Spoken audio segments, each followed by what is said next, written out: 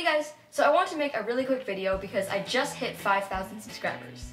I really can't believe that I got 5,000 subscribers just a year ago in the end of 2017. I was celebrating um, hitting 1,000 subscribers, so now we've multiplied that by 5. So yeah, I just want to make a really fast thank you to everyone who has subscribed to me over these last three years. There will be something special happening for 5,000 subscribers. Unfortunately, I'm still getting that organized, but I promise it will be very soon.